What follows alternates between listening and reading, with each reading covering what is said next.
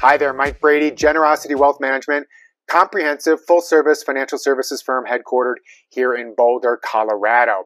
So it's now the middle of the summer, kind of the end of June, maybe kind of the beginning, and uh, I just want to do a recap of not only this year, but also maybe the last two, three years to bring us up to where we are now so we can kind of put it into a, a larger perspective. So 2019, good year for the unmanaged stock market indexes. 2020 hit. We had a huge decline once the COVID shutdowns hit.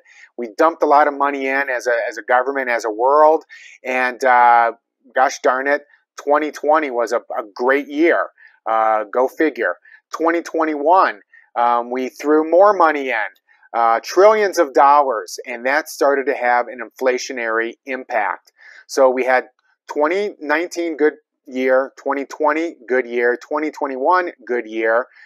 2022, we started off the year, that was last year, and the Fed said, hey, we've got this inflation problems. We better start raising interest rates very quickly, which is what they did. So there's a huge shock to, shock to the system but I would also argue that we threw a lot of money into the system in 2020 to paper over some of the issues. You can't just slow down, you know, a huge economy, a world economy, and expect uh, positive returns. Um, 2021, we dumped a lot of money in when we created demand, but we the supply chain issues were not resolved. So we had restricted supply. So that kind of led to some of the inflation, which then was sharply addressed in 2022. And in the 2023, we're still addressing that, um, but not in the same way that we did in 2022. The first nine months, three quarters of last year, 2022, were sharply negative. It, it was not fun at all. I mean, you know this. Um, but you know, I, I kept saying, if you look back at my quarterly saying, hey, listen, these things happen every once in a while. That this too will pass. At a certain point, um, this is an overreaction, and I believe that the first three quarters of 2022 was giving up what we shouldn't have gotten in 2020 and 2021, which we papered over. Um, you know, we, we put a band aid on with a bunch of money flowing in, which had its own repercussions. So, since uh, the fourth quarter of 2022, positive for the unmanaged stock market indexes. First quarter 2023, this last quarter, 2023 as well. The second quarter was a positive one. So that's nice. We got three quarters in a row of positive returns. Up on the screen, you're going to see kind of a longer period. You'll see that we've done, depending on the unmanaged stock market indexes and what someone's portfolio looks like, it's a third to a half of what was given up in last year. 2022. Um, when we look at the bonds, the unmanaged bond indexes, they have not come back quite as quickly, which is very frustrating. It's unique that bonds and stocks go down at the same time in the same year, and 2022 was that perfect storm. So they haven't come back quite as uh, nicely um, because interest rates haven't gone down quite as nicely um, as we would like. When you look on the screen, though, what you're going to see is uh, interest rates, though, are projected to decrease uh, over the coming months. Um, you know, yes, there might be another uh, increase or two, but pretty much everyone and some of the comments from from the Fed have led us to believe that the opposite of what led such a bad um, outcome in 2022 will be a good income in 2023 and 2024 as interest rates then go down. When we look up at the screen, uh, you're going to see a uh, you know one, five, 10, and 20 years um, kind of mix mash of uh, um, stocks by themselves. Is that bar on the left hand side? Bonds by themselves, and then the third bar in each one of those categories is uh, a mix of stocks and bonds, unmanaged uh, bond indexes and, and, stock indexes. And what you'll see is over five years, there's actually never been a uh, uh, you know, a, a, five-year time horizon where a, a mash, a mix, mix, ma- mix and match of uh, stocks and bonds um, hasn't at least broken even or made just a little bit of money. So one year, absolutely. Two years, definitely. Um, but once we go out from a three, a five, a, a 10 or 20 year time horizon, um, the uh, historically what has happened as uh, the the negatives have been offset by the positives, with the positive winning out. Um, when I showed you that first uh, screen, I'm going to put it up here again. Uh, three out of four years are positive. One out of four are negative. That's just the way it happens.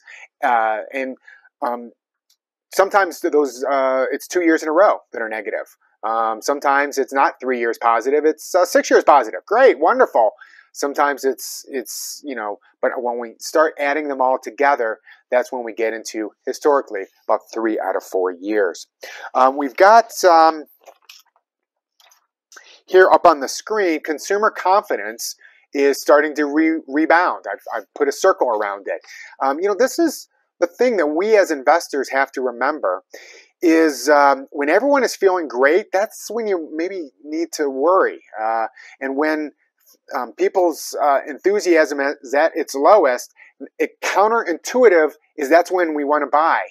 Right, that's when it might be you know the best opportunity for us to um, you know to have that extra investment or to hold tight because maybe the recovery is right around the corner. I mean, think back over the last year and a half or so, um, nine months ago, where you're like, God, I wish I had more money I could throw in. Maybe, maybe not. Okay, so you've got to um, be in control of your own emotions and understand that when it feels the most uncomfortable is often the time when uh, the recovery is right around the corner. That's historically been the case. Consumer confidence is what we call a lagging indicator, not a leading one, but a lagging one, meaning that once things are looking great, then everyone feels good. Well, that's that's too late. Uh, once everyone feels bad, it's already gone down, so that's too late as well. So the emotions do not um, lead us to the right outcome uh, that we want, or the right path. And so uh, the first advice that I would give is to, to be aware of that, and two, think about it for yourself and many times be contrarian to what your emotions are telling you um, and give me a call and we can talk it through.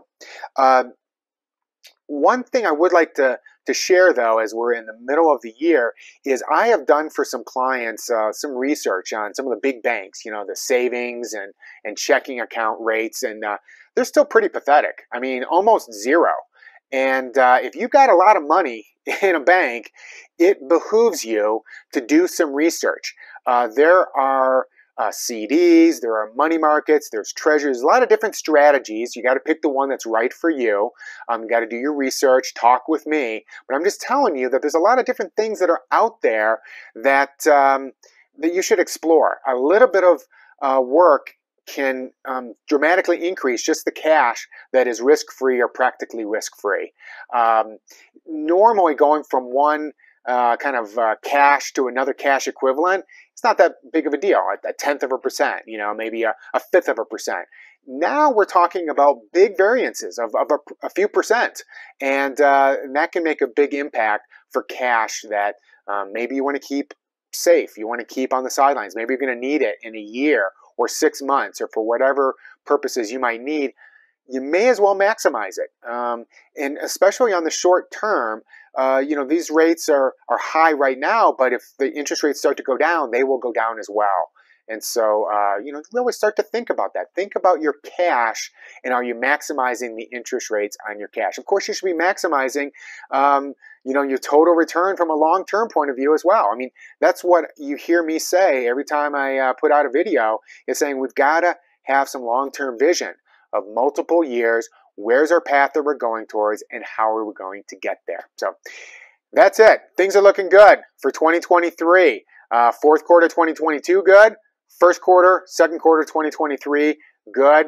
Um, you know, we still have a ways to go to uh, completely wipe away what happened in 2022, get back to where we were in 2021. But uh, given some time, I feel confident that we'll be there before we know it. Mike Brady, Generosity Wealth Management, 303 747 6455. You have a great day, great summer. Bye bye.